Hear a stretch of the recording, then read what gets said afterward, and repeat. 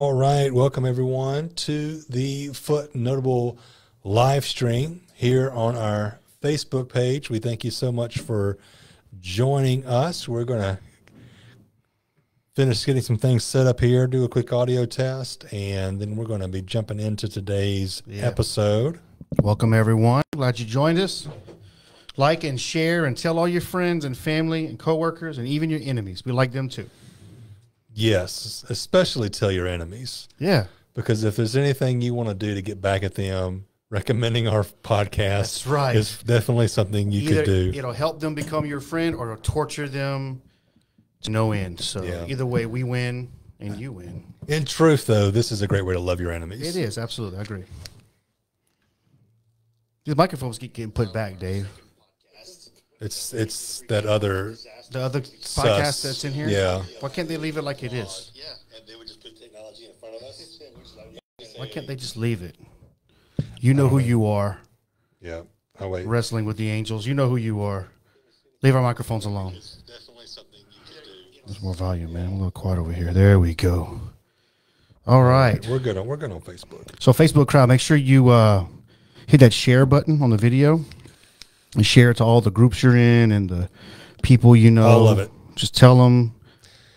And if you're watching this on YouTube after we've posted it there, make sure that you subscribe to our channel and ring that notification bell. Mm-hmm. Let's like a think of it like a church bell. Just Yep. give it a little ring a ding ding, and that way you'll always know when we post new videos there. All right. So I think we're all set over here, ready to go. Ready? Y'all So- ready? Are y'all ready? All right. So we'll do a quick introduction to our, our live audience. We're talking about. Gen Z Gen. today, and uh, that is a generation that is not Oren and I. No. May not be you either, but it's an important generation. We're going to talk about it. So, as always, if you have questions about the topic or if things come up during our discussion, you want to interact with us while we're live, please go ahead and do so. Drop it in the comments.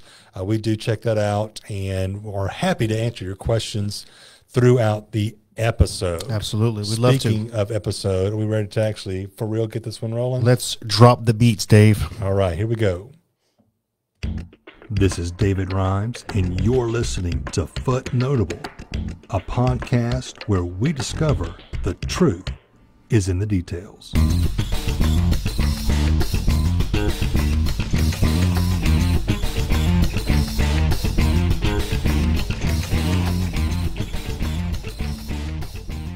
All right, everyone, welcome back to this week's episode of Foot Notable. Oren and Welcome. I are here to tackle yet another topic. Pressing, important topic in which we'll talk a lot about and only scratch the surface. That's right. Yeah, scratching the surface is what Footnotable does. That's exactly best. right. We dive into the details, but not that not far. not too deep. That's correct. yeah, that's, why correct. we're only a footnote. There's only so much time That's exactly for right. that deep dive. So, Yep. yep. So, uh, so we're talking about Gen Z and Gen Z. Uh, we'll talk about in, in a moment more in detail, like we said before. But uh, this is the youngest named generation, and this is our children, Dave and I's children, maybe your children or Yeah. grandchildren.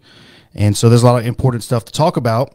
Um, bridging the generations can be difficult. I think, Dave, we're Gen Xers. Maybe we'll, well, we talked earlier today about spending an episode talking about Gen X, and we'll brag on ourselves and how awesome we are. and- Yes, we need a whole episode. because we have some Gen X friends and us. listeners, and, and I'm sure they like to talk us to talk about them as well. But but uh, as Gen Xers, we are a bit of a bridge between um, boomers and builders to the the millennials and the You're welcome, millennials exactly and Gen right. Zs. Because right. if it weren't for us, you would just be in it would be in a, a, a, a giant cultural abyss. war. Yeah, exactly. Yeah, You would every every other word out of your mouth would be "okay, boomer," that's right.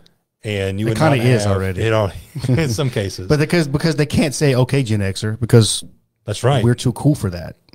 Right. Right, So exactly. so so uh, bridging the gap between generations can be difficult. And look, we all understand this, right? Uh, some of you listening to us and watching us online, uh, those of you listening to this podcast, you may be of an older generation than even mine and Dave, and you remember the most gen- likely you are. yeah, most if likely you're listening to this that's our- podcast. that's a key demographic. But um, you remember as a young person, a teenager, young adult, and the difference between you and older generations before you, your parents and your grandparents, you notice that there were some very distinct differences. But I would wager to to bet that the differences between your generation and those before you were less uh, broad and distinct that compared to what we're seeing now between Gen Z and millennials, and especially Gen Z and Gen Xers are, are their are their uh, older parents, the Boomers, and so we're going to be talking about some of that today. And to segue into our discussion, we're going to use Seinfeld. This may come as a shock to some of you. Yeah. But if you're a first time listener and you've jumped in at this particular episode, welcome to the Seinfeld reference zone. That's right. Part about being a Gen Xer means that our favorite sitcom, as God intended, Is is, Seinfeld. Seinfeld. That's right. And so we make references every week Yep. To our, our favorite and the best Without fail. without fail. and we haven't reused one yet. We've never duplicated Yeah. uh, one one reference Not yet. Eventually, we probably will. We'll double up on some. yeah, because some are just so good and they have a multi uh, purpose. And So it's, like, it's like an onion. You know, you peel back the layers. peeling, baby. Just keep peeling. It's That's right. there. And so there's a reference we want to use today of, um, and interestingly, in the Seinfeld episodes, there's not a lot of references from Jerry and his friends' generation uh, having trouble with the younger ones, but there's a lot of references making that distinction between Jerry and his friends with the older generation, like their parents or even their grandparents. Correct. And so uh, we have a clip for you today. Dave, why don't you introduce the clip for us? Yeah, so basically, if you're familiar with the show, you know that Jerry's mom and dad retired, left New York, Mm-hmm. and went down to sunny Florida, like a lot of retirees do, or at least that's what we're told. I know there's a lot of retirees down there. Yeah, it's kind of the exactly, yeah. stereotypical thing. You retire to the sunny Florida. Well, they did, and uh, Jerry went to go visit them on one particular occasion because he's a Mm-hmm. good son, and it came time to eat dinner. Yeah, Well, at least according to Jerry's parents. exactly. So let's listen to this little exchange between the generations here on Seinfeld. All right, are you ready to eat? Oh, right, let's go. Jerry, let's go. It's time to eat. We're going to dinner. Dinner? Well, what time is it? It's 4.30. 4.30. Who eats dinner at 4.30? By the time you sit down, it'll be quarter to five. I, I don't understand why we have to eat now. We got to catch the early bird. It's only between 4.30 and 6. Yeah, they give you a tenderloin, a salad, and a baked potato for four ninety five. You know what that costs you after six? Can we eat at a decent hour? I'll treat, okay? You're not buying us dinner. I'm not force feeding myself a steak at 4:30 to save a couple bucks. I'll tell you that. All right. We'll wait. But it's unheard of. It's It's unheard of, everyone. Oop, I grabbed the wrong slider there. Yeah, it's unheard of. Oh my goodness! the So- generation gap there So Jerry's played out on Seinfeld. Jerry's parents want to eat dinner at four thirty, and Dave and I are laughing because we don't eat dinner at four thirty. no. Uh, and Jerry wants to eat obviously later. His parents want to eat early to get the early bird special, right? Which is probably a couple of bucks if you really think about the, the difference in the price. But that is a, a glimpse into a very generational mindset. Jerry Seinfeld eats dinner six, seven, eight o'clock. His parents eat dinner at four thirty to five o'clock in the afternoon. He they they eat dinner at snack time. Yeah, exactly. Yeah, we eat a snack at four thirty. We eat dinner a little bit later in the day, and so that's that's a simple way of of illustrating that uh, we think about things very differently than the generations in front of us and behind us, right? And the reality is, uh, uh, I've often used this illustration before when we when we when we reference younger generations, we usually don't reference them favorably. Um, For instance, we talk about the greatest generation in American history, what we call the builder generation. We'll talk about them a little bit more in a minute. Those that, that won a war and they came back from a war, uh, two fronts in World War II, and they built a country. And America was the, was the was the most powerful nation in the world. And not all that is very true. But I've often said, you know, who didn't think those people were the great, the the the greatest? Their parents and grandparents probably knew them as children, going, "Oh, you kids, you don't know what it's like." That's right. You don't know what it's like to be to world fight World War One. You don't know what it's like to fight the American Revolution. You don't know what I mean. Like like they referencing their parents and grandparents, and it's it's like the next generation just doesn't going to live up to our standards. Yeah. right. Every And- generation does this to some extent. and so, so in some ways, Jerry's mom's comment, "It's unheard of," applies to more than just dinner at four thirty or eating dinner at six instead of four thirty. There's a lot of things that we may uh, look at in younger generations, in particular Gen Z, and think, "Well, that's unheard of," but it's not to them. It's normal for them. And so, our responsibility when we start talking about generational divides and how we do ministry and how we love one another through that, it's really important for us to try to understand where they're coming from and then to communicate well where we're coming from so there can be some actual communication and understanding between generations. My children are Gen Z. Dave, your girls are Gen Z. That's correct. So this is a relevant conversation for he and I for sure. So if you are a, a young baby boomer or a, a a Gen Xer, it's likely that you have Gen Z children. And uh, this this conversation is important, or you might have Gen Z grandchildren, and it's important to understand where they're coming from and why it is how it is with them. You can look at it and go, "Well, that that that's unheard of. It doesn't matter."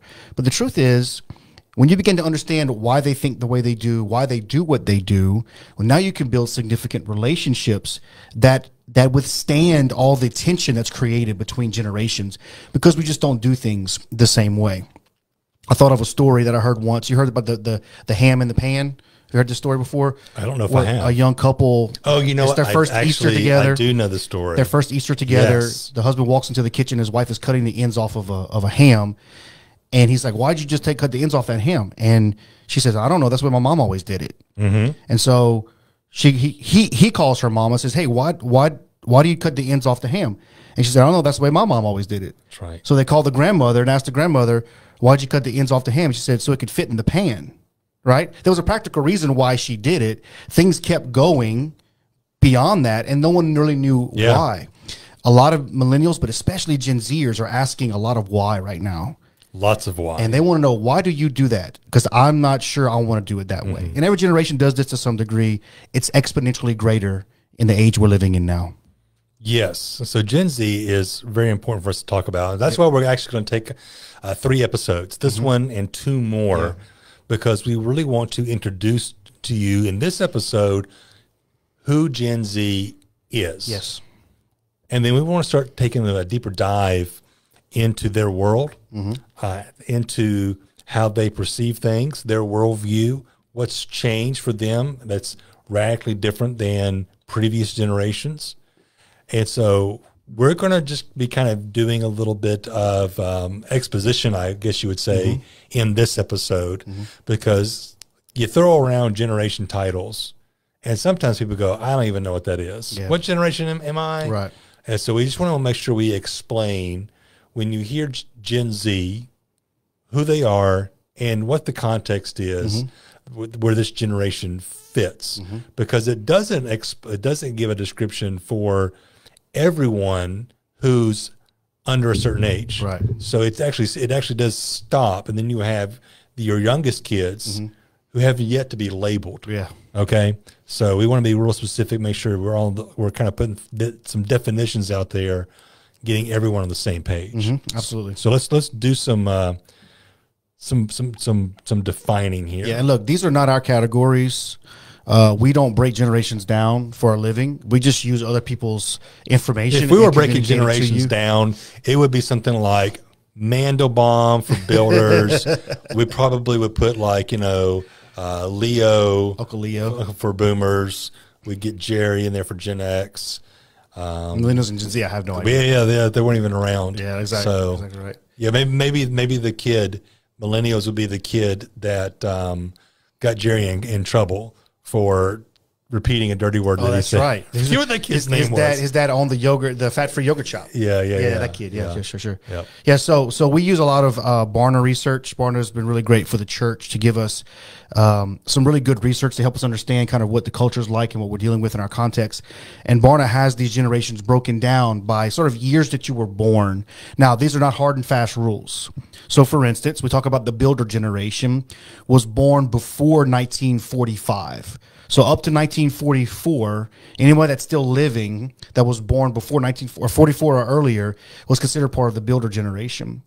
But someone might ask, well, what if I was born in 1944? Which one am I? Well, I don't know. Like this is this is a Right. little bit of the overlap. There's a little bit of gray area. Yeah. The reason these these generations are broken down this way is that there are common characteristics in this block of people that are around the same 12 to 15 common to 18 characteristics years. or shared events. Yes, shared so events are obviously, you know, you look at 1945, what's going on in world history Yeah.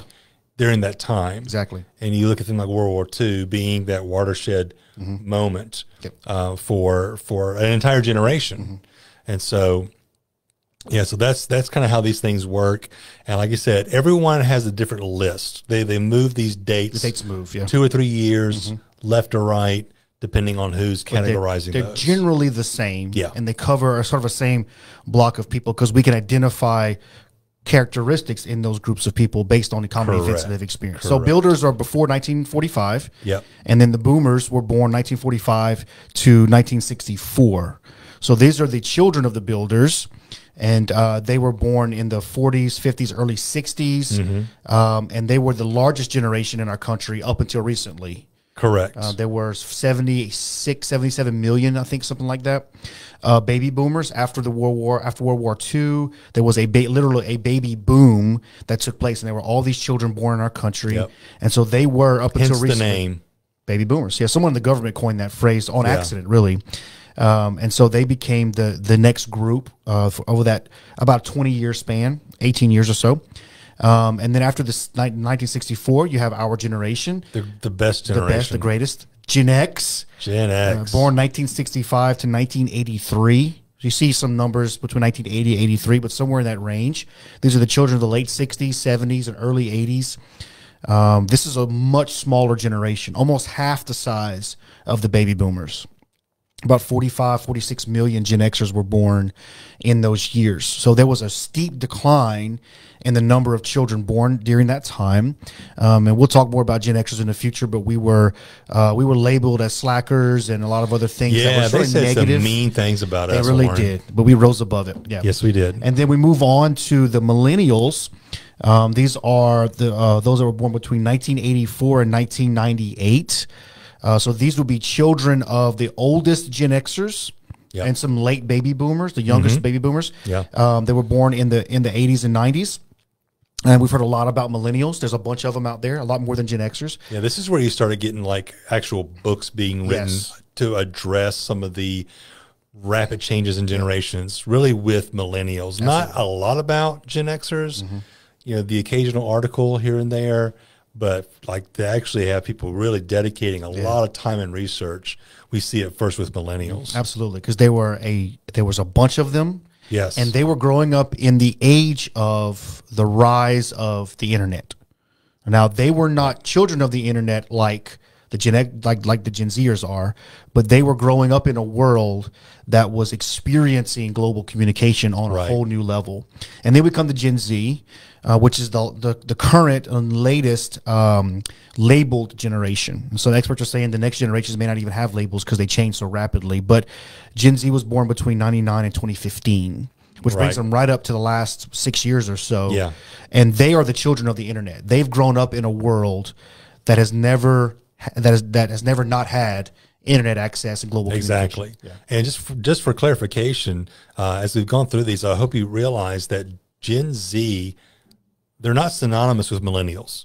Sometimes people make that mistake thinking that millennials are still your college students and your teenagers.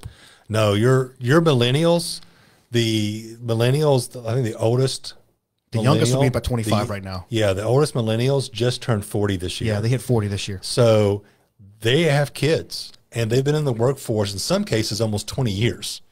And so when we talk about Gen Z, uh, we are not talking about millennials. In fact, as we kind of get into these discussions, what you'll see is that these two generations could not be further apart. They don't like each other either. and they don't like each other. In fact, they are the rift between these two generations is fodder for uh, some pretty hilarious stuff on the internet. And it, it's and it's it's fueled by the internet. It It, is really is. And that's why other generations never had these kind of Right. feuds. Is because there wasn't a a global That's exactly right. square where you could have all these little if you arguments. if you had the kind of internet you had today when we were Yeah, it growing would've up, been the same thing, It would have been the exact Yeah, same thing because they would have used it against us, and we mm-hmm. would have retaliated in the like. Exactly. And so this is yeah, this is partly what it is. But Gen Z, with the access to technology, mm-hmm.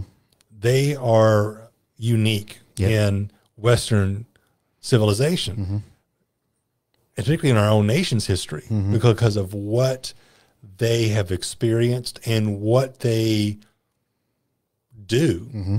Like there are things that just their very existence has made radical alterations in certain aspects of our culture, our economy, and they've not really tried to make those changes. Right. It's just been the product of the situation, the circumstances that they've been born into, Yeah, exactly. and how that's influenced their decision making. And so this is not just another, oh, let's break down a generation. Mm-hmm. They're really not much different than we are. Gen Z is is a very strategically mm-hmm. important generation for us to understand because it helps us to begin to make sense of what this interconnected world we live mm-hmm. in mm-hmm. Because of technology, what it does to people yeah, and the impact that that has on the rest of us. Yeah. And, you know, we thought millennials were a big generation. yeah, Uh, Gen Xers, we we did not have as many people as the boomers. Millennials came along, and people were like, "Wow, there are millennials everywhere." They were the biggest generation. Some even wondered, would a generation come along that would be any bigger than the millennials? there's more Gen Z. And then Gen Z came along, and there are way more of them than millennials. Yeah. So they are hands down our largest generation ever. Yeah, if you if, Here in America. if you put millennials and Gen Z together, they make up over fifty percent of our country's population. Yes. So just think about this for a moment that over half, like 52, 53% of our nation's population is under the age of 40. Now, there's good and bad to that. That's good that there's a future for our nation, that we have people that are going to be inhabiting this land, hopefully, in this country for a very long time. Now, what they do with it is it's a different story, Yeah. but there are a bunch of them out there. And as as those who work in the church, this is the future of the church. We cannot ignore the reality that there are a hundred and something million young people in our country all around us that are going to need a church home and they don't even know it. And we're going to talk more about the aspects of religion and faith in this particular generation. But when you think about it from a just an experiential standpoint, if you were born in 1999, Yeah. What has your life been like? When you were two years old, 9 11 happened. We were attacked on September 11th, right? Yeah. Now you were two, but your entire life you've grown up in a world fighting terrorism, a country especially Yeah. fighting terrorism. All you've ever known is you have to take your shoes off at the airport, Yes, and you yes. have probably no real idea why. Exactly. Yeah, like you don't you don't remember those days. You've seen video footage when wherever if you if you were um, if you were around like for instance when we when we were in junior high and the first Gulf War was taking place. Yeah. the footage we were watching was old footage. It was hours or days old that we Yeah. were watching of the war. I remember in 2003 we went to Iraq. We were watching live footage of Right. tanks rolling into our, to to uh, to Iraq. Yeah.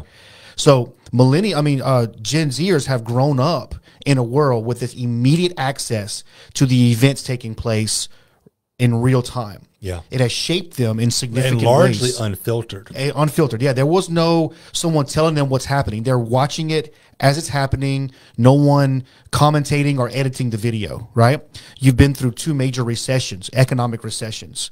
You you have seen nothing but political turmoil and infighting your entire life. So if you wonder why young people today may seem a little jaded or a little cynical about the world they live in. Part of it, a large part of it, is because of the culture they've observed and been part of. That was not their creation.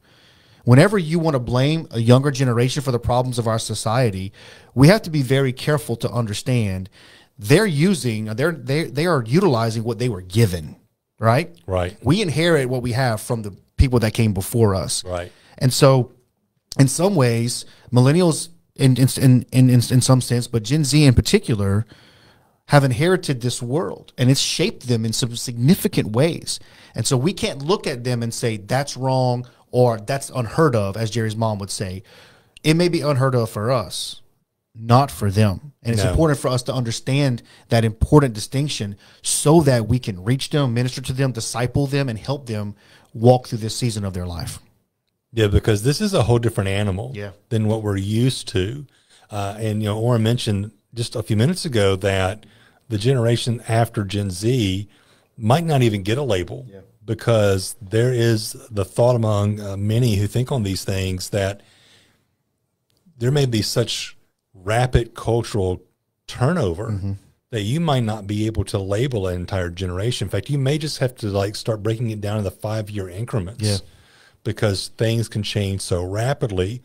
And uh, for some of you, you can you can kind of see that. For others, that may be a bit of a you know a tall tale. You're thinking, but just think about how much things have changed over the past 12, 13, 14 months Yeah. with COVID Yeah. you know, life is very different than what it was before, and those changes are going to continue to happen Mm-hmm. as we have uh, the the fallout con- uh, continue from this pandemic. And and COVID may likely be the event that labels the next generation behind Gen Z because they're going to be growing up in a world post COVID. Right. They won't know a world that didn't have this thi- Exactly. this experience. So that may be part of the shaping of that of that group too. Yeah, absolutely. So let's let's kind of um let's kind of do a little something. In case you're wondering, well, what is it like to be uh, Gen Z? Yeah. You know, some of you know just based on what we've already shared about generations and the dates, you know you're not a Gen Z. Yeah. But we want to do a little quiz. How Gen Z are you? How Gen Z are you? How how well do you relate? Yeah. And so we have, we've got I think 15 questions here Yeah. that uh, we're going to ask. And I want you to just think through these, okay?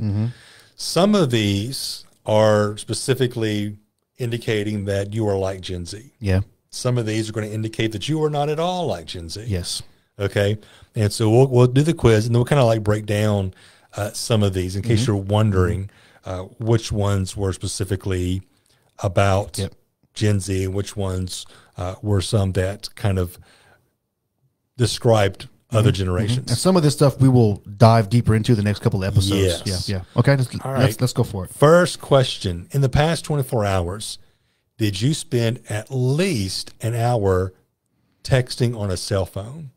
Like in total, not like one hour at one time, But an hour within 24 yeah, hours. cumulative time texting on a cell phone. No. Me, me neither. No. Um, if you're Gen Z, Probably. you better believe you most likely have. Yep. Would would texting include social media as well? Would that be include? You know, I'm going to think again. It just says texting, but I'm going to assume that that would also include messaging, Yeah, not necessarily like posting on social media, Right, right. But the back and forth Yeah. texting like communication Yep. through SMS or uh, programs like FaceTime. yeah, probably FaceTime, Facebook Messenger, Mm-hmm, WhatsApp, other things like that. Yeah, it wouldn't be unheard of to have someone on Facebook Messenger or on FaceTime while they're posting on Instagram, writing messages to different people. Very correct. So to say that an hour of texting on a phone or communicating on a phone through not not through spoken words but through written typed words, an hour for a Gen Zer is is is a walk in the park. It is. It's an easy and day. just on texting, we'll get into this uh, maybe next episode, but yeah, they're not even using a whole lot of words. No. Lots of emojis as well. A lot of abbreviations. Very, very Yeah. visual. Yeah. Next question. Do you have a Snapchat account? No, No, I don't either. I don't want a Snapchat account. it terrifies me. yeah, but the Snapchat is huge for Gen Z for a lot of reasons. Again, we'll get into those um, next Part- episode. Partly because their parents and grandparents don't have Snapchat. That's right. It's uh, they don't have it, and it it um, there's there's a whole disappearing element That's exactly right. to that. So we'll talk about that later, uh, more detail. So third question: Do you consider yourself a religious person? Yes. Yeah, I would too. I would hope so. Um, but for Gen Zers, not so much. They would tend to shy away from being identified as religious, any religion for that matter. Or they would give a lot of qualifications for They- their religious stance. Correct. Yeah, yeah, absolutely. Did you get your driver's license by the time you turned 17? Absolutely. You better believe it. the day on my 15th to birthday. bad Louisiana law, we got ours way before yes, 17. 15 years old, on my 15th birthday, I was in the DMV getting my license. So, driver's license for Gen Z, No big deal. not that big a deal. Especially if you live in a city Yes. like Baton Rouge. Yeah, yeah, yep. yeah. Do you think same same sex marriage should be legal? No, No. they do. Many Ma- Gen many of them do, yes. many Gen Zers look at same sex marriage through a different lens than previous generations. Yep. All right, next questions. Did you ever drink alcohol, meaning more than just a few sips, by the time you turned 16? No, No, because we're just we'll get Baptist kids. we're good Baptist kids. But for many of our peers, yeah, uh, That was alcohol, Kate. alcohol wa- was very much, uh, for some, a rite of passage, a rite of passage. Yeah, and very recreational. So how you pass a good time in South Louisiana. in Oh, the- in- in yeah. the, uh, on the Friday night. Yeah, That's it. But for Gen Zers, they have actually seen a sharp decrease in alcohol consumption and drug use for that matter. The idea of a party scene, like we hear party scene, you and I would know what that is, Right. Because there were enough movies and television shows. John that featured- Hughes told us what that was Yeah, like, exactly. right? John Hughes, all the movies in the '90s that featured young people having parties. that's Wild, something we knew. crazy, big Absolutely. house parties, parents away. Yeah, that's that with Gen Z. That's a it's a different perspective now. They don't believe those same things that we did. Yeah, Yep. All right. Next question: Did you fight with your parents a lot when you were a teen? I didn't, but I I know a lot of people who did, Yeah. and I probably could have had I tried tried a little harder. but It's just you just didn't make yeah, worth the effort. It was very like it was kind of common to know to hear stories of teenagers just fighting with their parents all the time. Right. Yeah, that was kind of like the thing you did. Yeah, yeah. growing All teenagers are going to have disagreements Yeah. With their parents, and you know you're at that age where you're trying to find your identity and assert some level of independence, and so it's it's Mm-hmm. common to have some of that. And of course, there are some cases where the you know the relationships are you know pretty toxic. Yeah. and uh, it's it's big time. But But but even to go back to like we talked about movies Yeah. a moment ago, those movies from the eighties and nineties, all like, the, and I'm I'm referencing that because that's what we grew up in. Dave and I Mm-hmm. always had that that eye roll towards your parents kind of relationship. Oh, yes. Oh mom, oh dad, like you don't understand because they were the boomers. They were the boomers, yeah, Right. And they were they were out of touch, they were out of style, and so the, the teenagers featured in that in that era always looked sort of down upon the people ahead of them in age. Yeah. Gen Z doesn't don't look at their parents in the same way. I think there's something a little different about the relationships that that Gen Zers have with their their parents. Yeah. So moving on, were more than one third of the other students at your high school a different race than you? In my high school, I would say yes. Not mine, buddy. We were Not in Livingston Parish. Yeah. Uh, I think our high school was, you know, 55% white, 45% black, probably. That's probably the way it would have broken down. It was a little bit closer um, uh, when I was in school there. But that the, the case now in most high schools, Yeah. they are so diverse ethnically, racially, culturally, that a young person growing up today uh, visiting a school where everybody was the same color seems like a um, a, a, a feature of a of a bygone era.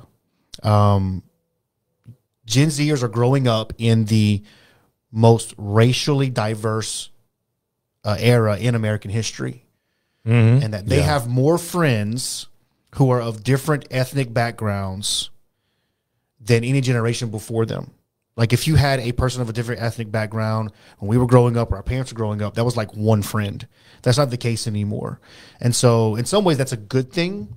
Uh, but it's also been difficult for older generations to embrace that in their children Yes. and grandchildren's lives because it's so distinctly different from what they grew up with themselves. Yes, very much so. Speaking of high school, Yeah. when you were in high school, Did you spend nearly every weekend night out with your friends? Uh, probably. Yeah, doing something. Yeah. Yeah. Yeah, hanging out some. Not every weekend night No. for me, but I play basketball, so Friday Yes. nights were ball games, but, other, but Right. Saturday nights we were just doing something with our friends. Yeah. If it wasn't at church, it was with someone else. Yeah, for sure. Gen Z, Not not, so so, much. Usually at home, typically on a screen of of Chatting, type. chatting with friends, four or five of them at a time, possibly. Having different conversations with different Yeah. people. Yeah, sure. Yep. All right. Did you have a job during the the school year when you were in high school? Uh, a little bit, rarely. I played sports in high school, and the agreement I had with my parents is if I kept my grades up, I played sports. I didn't have to, I didn't have to work. But when I wasn't playing sports, I was usually doing something, some some form of, of employment of some degree. Yes. Yeah, I didn't have like a standing job mm-hmm. like during the school year. Yeah. because I cut grass. Yep. and so I cut grass when grass needed to be cut, which is a long time in Louisiana. That's right. But it wasn't like you know I went down to McDonald's and worked a shift or whatever. Right. Right. Right. Did you have a job? Oh, I just read that one. Sorry, let me catch up with where I am. Do you agree that safe spaces and trigger warnings are good ideas and that efforts should be made to reduce microaggressions? Huh? Uh, yeah, that's exactly right. What's a safe space? For most generations that are not Gen Z, there's just like a lot of question marks over a lot of the words that were used in that sentence. Yeah. A safe space, trigger warning, and a microaggression. Microaggression. Those words didn't exist when we were growing up. The, and if they did, we wouldn't have had any idea what they Right. were. Like a safe space was like That's where you went when a, when a, when a tornado Yeah, was coming. Yeah, it's in your tub with a mattress over That's you. or in a exactly safe right. space. Like that's you know a trigger warning. Like that's on guns maybe. I don't. Right. Like, we don't. We wouldn't have had any idea what this means. And the reason I know this now is because it's in the news so much. Yeah. But Gen Z knows. And we don't want to make light of this because this is a really It is. A serious issue for many in Gen Z. yeah, I'm not making fun of it. I'm just saying from my perspective, it's very foreign. it's very foreign to It me. really I would is. not have known what these. it's like mean. eating dinner at four thirty in the afternoon. It's unheard of. All right. Next question: Are you a political independent? Officially, yes, I am registered independent, but probably not for the same reasons that Gen Z is. Right. Yeah, Yeah. and I, I mentioned that earlier that the age that they grew they've grown up in, all they've really seen is political turmoil, Right. infighting, corruption, lying, straight up lying to the camera, right, and then mm-hmm. apologizing that people didn't understand. Like this is what they've lived with their entire lives. So you understand why they don't want to be associated with a political party because they and we'll, we'll talk more about authority in the coming weeks and their distrust of authority because they feel like everybody's lying to them. And so they don't trust political parties and I guess I don't either. Maybe not for the same reasons. Not that, but uh, not no not not for the same reasons, no. All right. Next question: Do you support the legalization of marijuana? I do not. I do not either. But many in Gen Z would not see a big problem with No that. problem, that, yeah.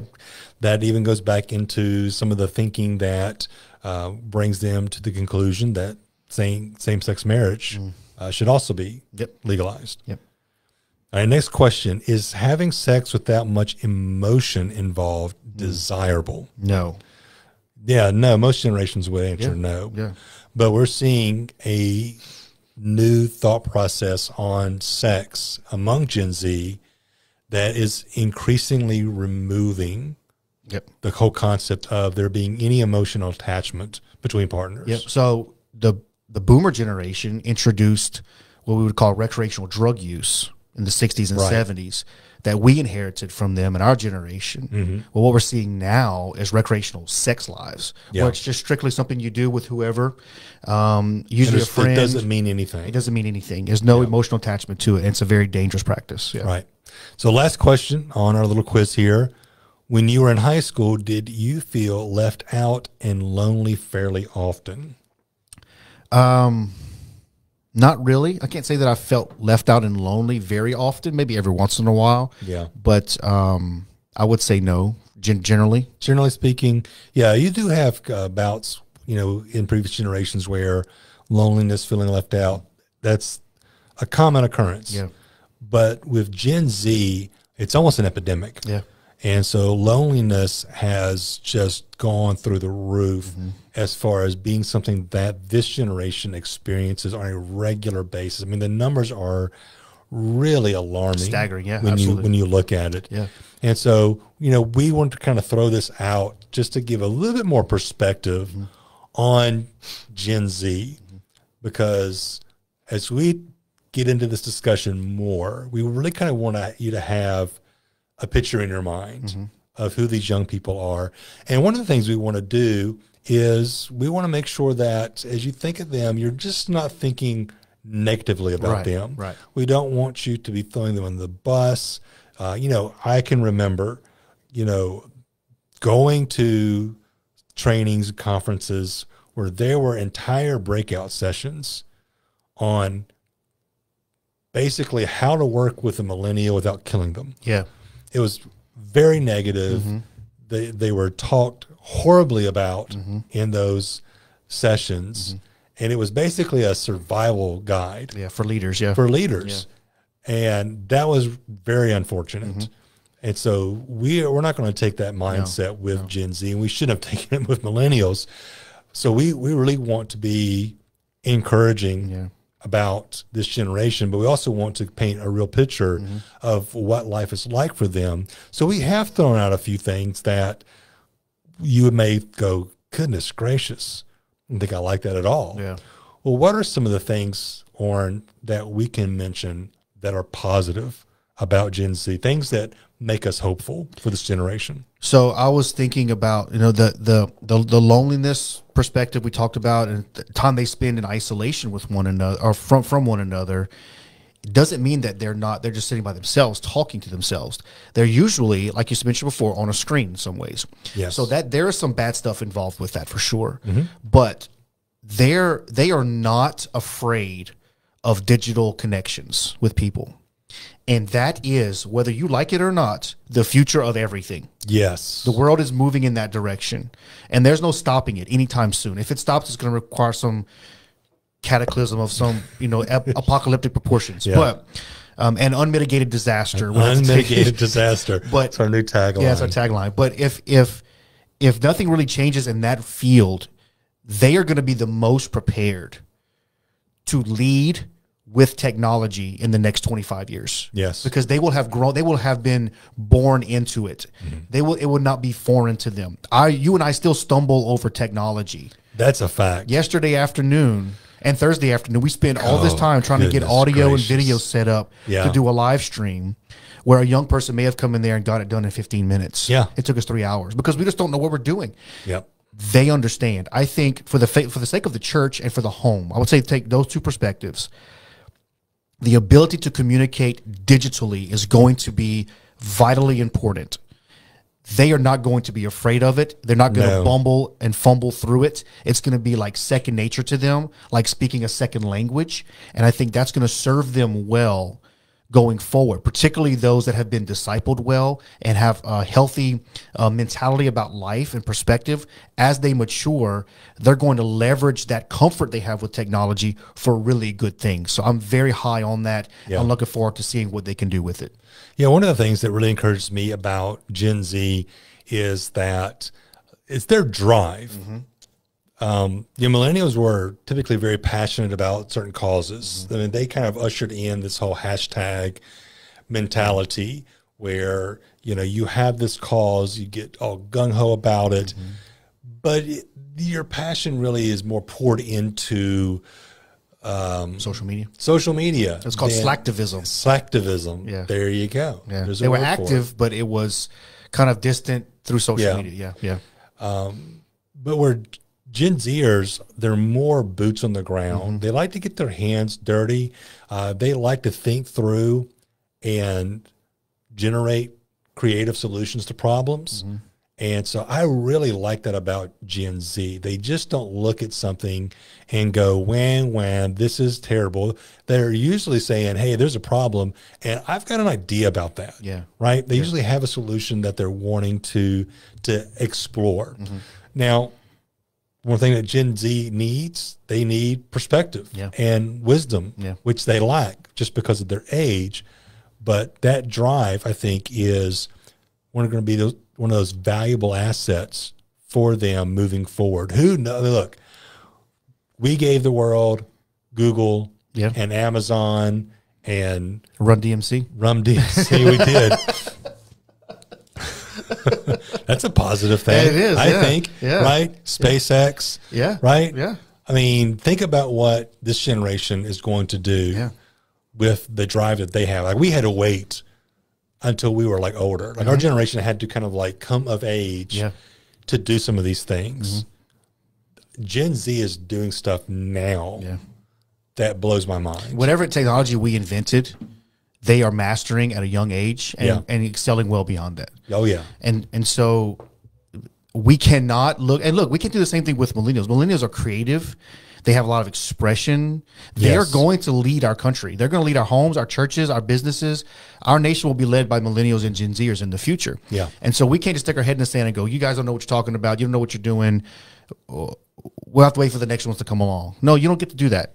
You got you got to work with, with with with what you have, and so you look for all these positive elements in the generations and go, how can we leverage that for good in our world?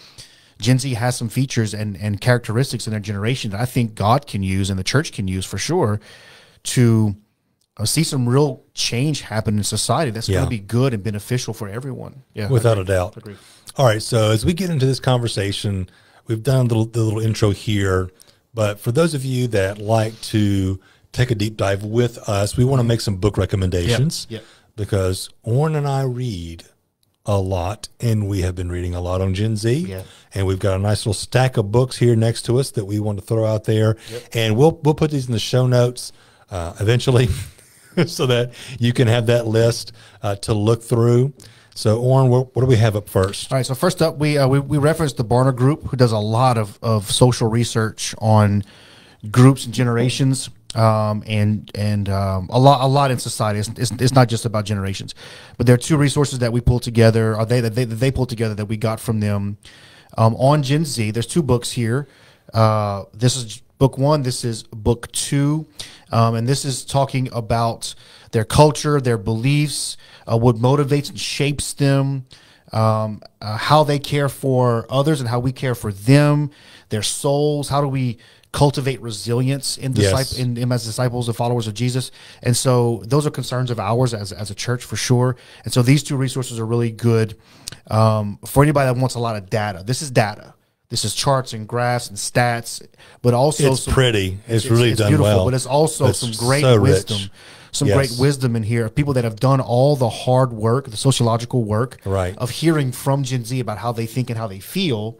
And then it's been compiled here, so it gives us a framework to work within, to know sort of how how to reach them, how to disciple them, how to help them, how to walk with them through this journey that that, that they're on. Very very good resource. All right. So got? I've got a book here that is written outside the church context that is taking a, a look at this generation. And it's by a researcher. And look, I've heard her name pronounced like three or four different ways. So sorry, Jean, But Jean Twenge, um, who is has a PhD. And I want to say, how does she have it in the end? I, I knew that for a second and I just thought about it. Uh, I lost it. Where is it? PhD. She is a professor of psychology at San Diego State University. And uh, she uh, did a research project on this generation. She calls them iGen because um, of the iPhone, the influence of the mm-hmm. iPhone is just sort of iconic when we talk mm-hmm. about technology. So she calls them iGen, and it's called Why Today's Super Connected Kids Are Growing Up Less Rebellious, More Tolerant, Less Happy, and Completely Unprepared for Adulthood. Mm. And so it is. It's a really good read. Um, it can be a bit academic in places, but uh, she's got some solid research and a lot of authors writing about Gen Z lean into her in this book iGen uh, that she put out just just a few years ago. I think it's two years old, baby. Yeah. Yeah, yeah, absolutely. So excellent book. All right. Uh, the next one we have, this is a big one. This is a book uh, by Tim Elmore. who's written a bunch of books on leadership. He's from the um, the John Maxwell School of Leadership. Essentially, he was kind of one of John Ma- Maxwell's earliest uh, followers and disciples, if you will. Um, he wrote a book a couple years ago called Generation Z Unfiltered, and the tagline is this: "Facing nine hidden challenges." Of the most anxious population, and we're going to get into this over the next couple of weeks about the the stress level and the anxiety that Gen Zers are feeling these days. And so, what Tim Elmore does in this book is he breaks down nine challenges but he also presents solutions to those challenges throughout this book. And so some of these things are are um, are fantastic when it comes to understanding how Gen Zers think and then what we can do about it. And so, for instance, a, a, a- an an example of challenge one is empowerment without wisdom, right? So a Gen Zer may feel empowered to make change in the world, Yeah. but they have they don't have the wisdom they need to do it the right way. And so one of the ways that we help them is to give them experience so that they can gain wisdom in their experiences so that when they start applying these changes in their lives or to, to society as a whole, they are they're, there's a better path in, in in front of them. So these nine challenges are really good. We're going to pull some of this and just talk about it as we go through this discussion. Tim Elmore, Gen Z Unfiltered. You got one more. One more. This is one uh, Dave and I read together. Bookmark last year called "Meet Generation Z" by James Emery White. Uh, James White is a uh, pastor. Uh, he's the founding pastor of Mecklenburg Community Church um, in uh, Charlotte, North Carolina. Um, this is a church that has gone through a lot of transition and transformation in order to reach this generation, this younger generation and there are some uh, pretty incredible things in here that that James White addresses. Um, and it's it's not a formula for your church by any stretch. It's principles that we have to understand so that we can we can not only know who Gen Z is, but what it's going to take for us to reach them and to help them. And so this is a fantastic book, Meet Generation Z: Understanding and Reaching the New Post-Christian World. So we encourage you to pick those up. They will be great benefit to your life.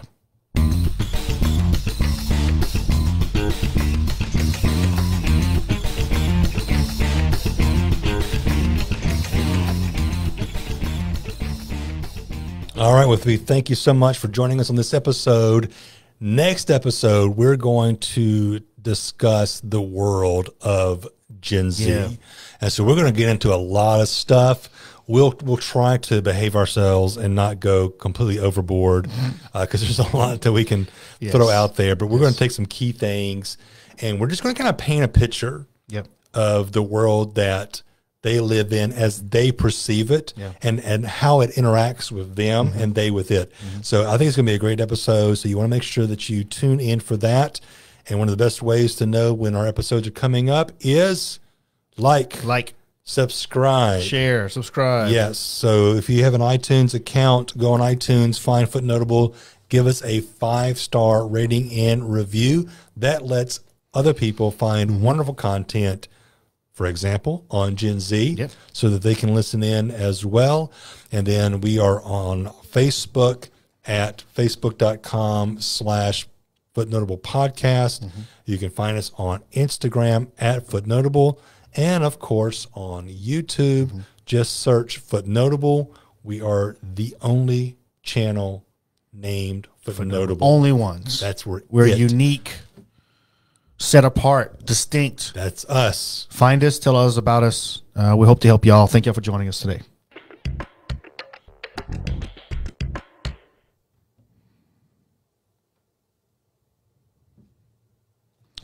All right.